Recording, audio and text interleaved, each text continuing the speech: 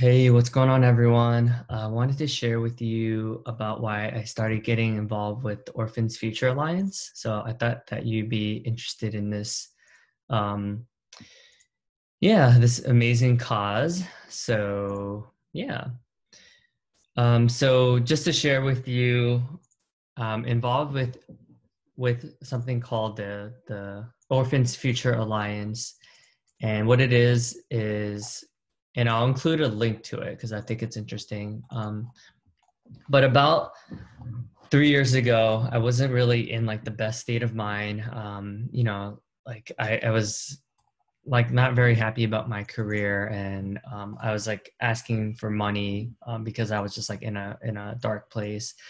But anyways, I started volunteering for an organization called Landmark. Um, it's a self development program, and through that, um, the advanced course, I met Julie Tran. Well, I was I was reignited with Julie Tran, and it, it was pretty eye opening um, for me to go through that experience. But what ended up happening was um, we met through the Chinese Business Advisor, um, which is this networking group that I was a part of like five years ago. It's been a while, and I remember um, like being just being really sad and anyways, like after we caught up, after I saw her when I was volunteering, we had lunch, and so she shared with me her experience uh, with the Orphans Future Alliance, and it's been pretty rewarding. This year, I've raised over six thousand dollars. Well, since my involvement, I've raised over six thousand dollars.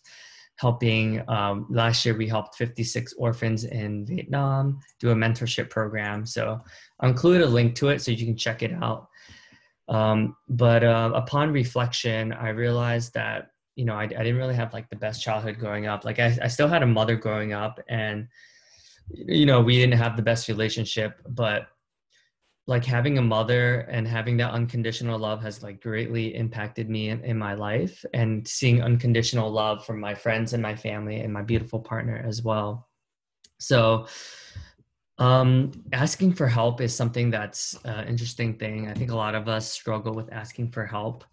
So there were there were people that was like it was easy for me to ask for help, like Pan and Jeff and Aditya, who are like my close friends.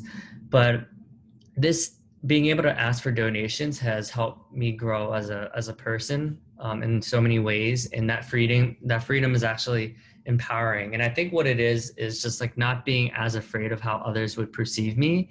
Because when you ask for money, sometimes you view it as like, oh, I'm weak or I need help, you know?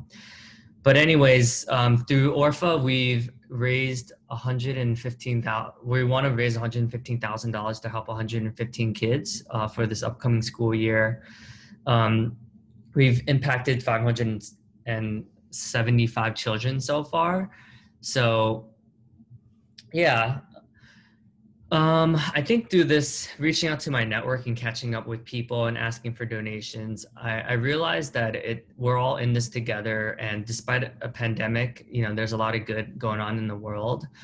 Um, like just within my own company, LinkedIn was able to, uh, I was able to donate $1,585 through volunteer hours.